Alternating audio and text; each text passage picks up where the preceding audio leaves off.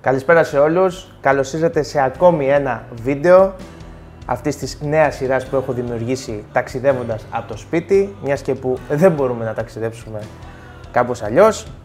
Έτσι λοιπόν σήμερα θα σας δείξω 5 επικίνδυνα μέρη του πλανήτη μας που δεν πρέπει να επισκεπτούμε.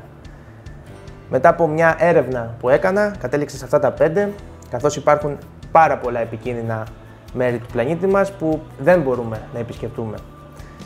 Τι κάνει όμως ένα μέρος επικίνδυνο, οι ακραίες καιρικές συνθήκες που συμβαίνουν εκεί. Κάποιες φορές οι κάτοικοι που ζουν εκεί και άλλες κάποιες δραστηριότητες που λαμβάνουν χώρο στις συγκεκριμένες τοποθεσίες που είτε προέρχονται από εμάς τους ανθρώπους είτε από τον ίδιο μας τον πλανήτη. Μιας και που η Γη είναι ένας ενεργός πλανήτης και αλλάζει συνεχώς. Και αυτή την ώρα που μιλάω τώρα, κάπου θα γίνεται κάποια έκρηξη ηφαιστείου, κάπου ένας σεισμός, οπότε καλό είναι ο επισκέπτης να μην βρίσκεται κάπου εκεί κοντά.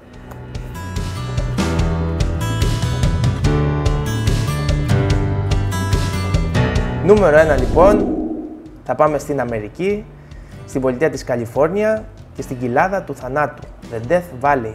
Εκεί το 1913 καταγράφτηκε η υψηλότερη θερμοκρασία που έχει καταγεγραφεί ποτέ στον πλανήτη και ήταν 56,7 βαθμούς Κελσίου. Μιλάμε για ένα πραγματικό ξηρό τοπίο, είναι το δεύτερο πιο ξηρό μέρος σε όλο τον πλανήτη μετά από την έρημο Ατακάμπα στη Χιλή. Σκεφτείτε ότι η μέση θερμοκρασία όλο τον χρόνο είναι 33 βαθμούς Κελσίου, Ιούνιο, Ιούλιο και Αύγουστο είναι πάνω από, το, από 43.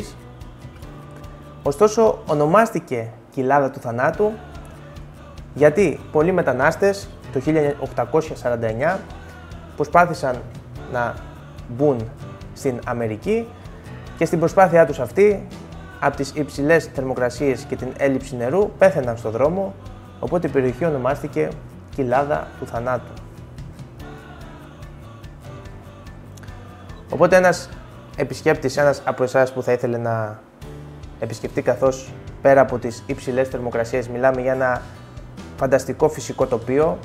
Ε, καλό θα ήταν να επισκεφτεί κάποιος το χειμώνα και να είναι ήσυχος. Νούμερο 2, θα ταξιδέψουμε στη Βραζιλία και εκεί στις ακτές του Ατλαντικού ωκεανού υπάρχει ένα πανέμορφο νησί μέσα στο πράσινο. Το μόνο του ελάττωμα είναι ότι εκεί ζουν μόνο φίδια και όχι οποιαδήποτε φίδια, η χρυσή βασιλική οχιά που είναι από τα πιο δηλητηριώδη του πλανήτη.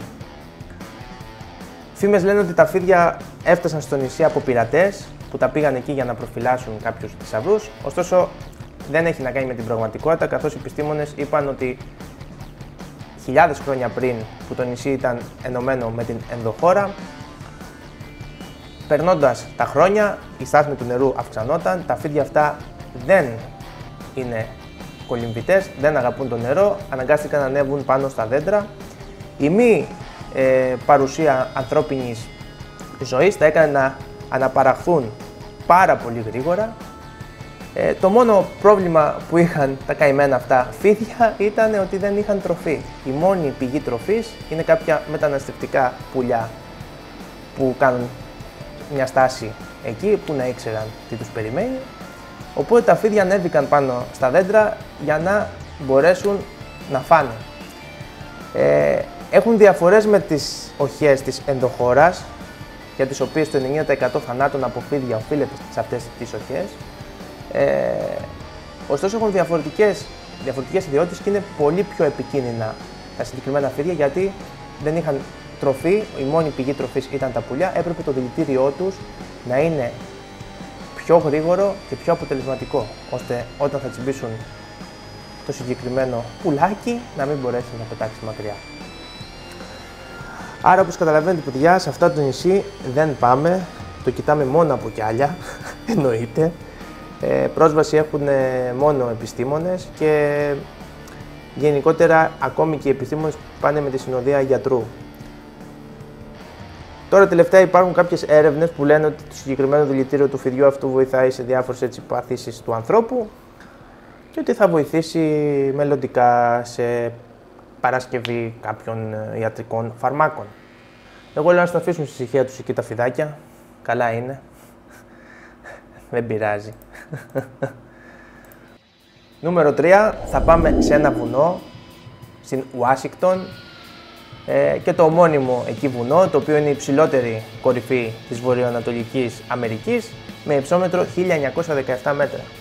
Είναι γνωστό όμως και επικίνδυνο καθώς εκεί επικρατούν ακραία καιρικά φαινόμενα. Στο συγκεκριμένο βουνό έχει καταγεγραφεί η υψηλότερη, η, η μεγαλύτερη ταχύτητα ανέμου, η οποία ήταν 372 χιλιόμετρα την ώρα και καταγράφτηκε 12 Απριλίου του 1934. Στην κορυφή είναι πάρα πολύ δύσκολο να ανέβει κανείς, όπου υπάρχει ένα παρατηρητήριο και ένας μετεωρολογικός σταθμός ε, που πολλές φορές λειτουργεί και για εκπαιδευτικού σκοπούς. Κυκλοφορούν κάποια βιντεάκια από έτσι κάποιους χάζο Αμερικάνους που πάνε για παιχνίδι, αλλά να φανταστώ δεν ανεβαίνουν στην κορυφή. Όπως αυτός εδώ που προσπαθεί να παίξει με τον αέρα, μόνο που συγκεκριμένος δεν βρίσκεται εννοείται στην κορυφή και η ταχύτητα του ανέμου είναι γύρω στα 200 χιλιόμετρα την ώρα. Αλλά βλέπει το, τη ταλαιπωρία τραβάει. Εντάξει, εννοείται ότι αν επισκεφτώ ποτέ συγκεκριμένη πολιτεία, δεν θα επιχειρήσω να ανέβω στο βουνό για να μην βρεθώ ξανά στην Ελλάδα. Νούμερο 4 θα πάμε Ινδονησία, ε, όπου υπάρχει ένα ενεργό ηφαίστειο.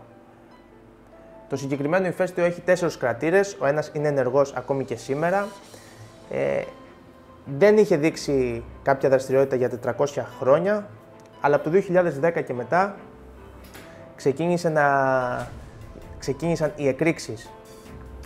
Ωστόσο, επειδή η δραστηριότητα του ηφαιστείου μια αυξανόταν, μια μειωνόταν, έγιναν και κάποια λάθη. Δύο από τις μεγαλύτερες εκρήξεις ήταν η πρώτη στις 7 Σεπτεμβρίου του 2013 που λένε ότι στάχτες έφτασαν τα 5 χιλιόμετρα ύψος και άλλη μία στις, ε, στην 1η Φλεβάρη του, του 2014 όπου μία μέρα νωρίτερα οι αρχές είχαν επιστρέψει τους ανθρώπους στα σπίτια τους καθώς είχαν παρατηρήσει ότι το ηφαίστειο είχε ηρεμήσει, αλλά ακριβώς μια μέρα αργότερα, στην 1η Φλεβάρη, γίνεται έκρηξη, χάνουν τη ζωή τους 16 άτομα μαζί και 4 φοιτητές που είχαν πάει να μελετήσουν το ηφαίστειο. Υπάρχουν, κυκλοφορούν διάφορα βίντεο, ε, αν θέλετε να, να ζητήσετε. Ε, μέχρι αυτό που, σας που σας δείχνω τώρα είναι από το φετινό καλοκαίρι, από τον Αύγουστο, όπου πάλι κάποια έκρηξη θα έγινε και κοιτάξτε πόσο ψηλά. Oh. Όπως καταλαβαίνετε εννοείται όχι 5 και 10 χιλιόμετρα, 35 χιλιόμετρα μακριά από το συγκεκριμένο βουνό, μπορεί να λέω και λίγα. Ο χαμός. Κάτσε γιατί έτσι όπως πάει το 20 μη γίνει καμιά έκρηξη στο Σαντορίνι. Λέγε, λέγε, λέγε, λέγε, το λένε για πλάκα, αλλά ποτέ δεν ξέρεις τι μπορεί να συμβεί.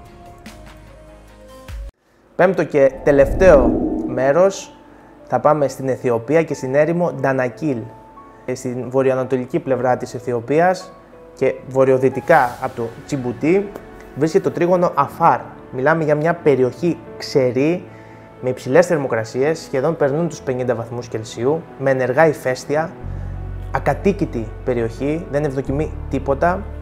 Ε, ζουν μόνο κάποιοι αφάρ, μια φυλή Αράβων, οι οποίοι ασχολούνται με την εξόρυξη αλατιού.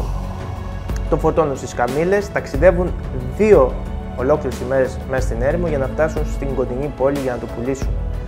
Ε, την περιοχή άλλη τη χαρακτηρίζουν ως οι πύλες της κολάσεως, καθώς από τα ενεργά ηφαίστεια που υπάρχουν δημιουργούνται τρύπες από φωτιά, ε, και γι' αυτό το λόγο και για, γενικότερα για την έντονη δραστηριότητα που υπάρχει εκεί δημιουργούνται κάποια μοναδικής ομορφιάς πετρώματα και χρωματισμοί ε, και πολλοί λάτρεις της φωτογραφίας του τοπίου πηγαίνουν εκεί για να τα φωτογραφίσουν αλλά έχουν συμβεί και περιπτώσεις όπου έχουμε και ανθρώπους οι οποίοι έχουν χάσει τη ζωή τους στο συγκεκριμένο σημείο. Γιατί μην κοιτάς το σαφάρ, έχουν μεγαλώσει και ξέρουν ακριβώς το που θα πάνε και ποιες μέρες θα πάνε να κάνουν την εξόρυξη αλατιού.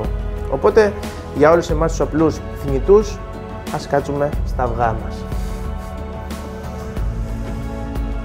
Κάπου εδώ τελειώνει και αυτό το βίντεο. Ε, τα 5 επικίνδυνα μέρη του πλανήτη που δεν πρέπει να επισκεφτούμε, όπως είδατε το κάθε ένα για τους δικούς του λόγους. Ε, αν σας άρεσε το βίντεο κάντε ένα like, αφήστε μια εγγραφή και ένα comment. Ε, αν έχει πάει κάποιος ταραλέος σε κάποιο από αυτά ε, ή τι άλλο θα θέλατε να δείτε στη συνέχεια, καθώς η καραντίνα καλά κρατεί, οπότε θα έχουμε υλικό να ανεβάζουμε και άλλα βίντεο. Τα λέμε. Γεια σας παιδιά.